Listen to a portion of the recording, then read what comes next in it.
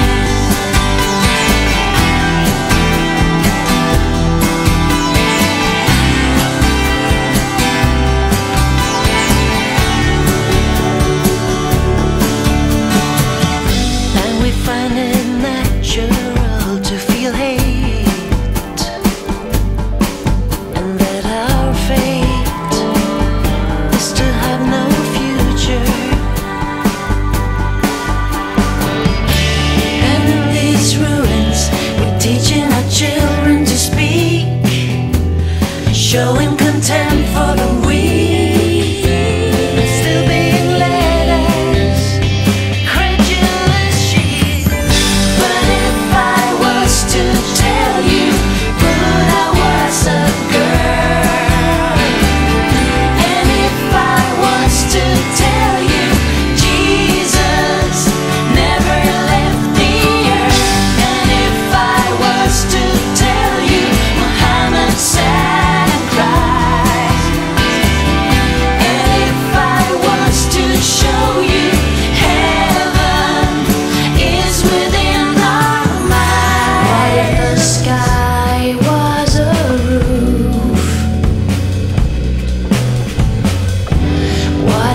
sorry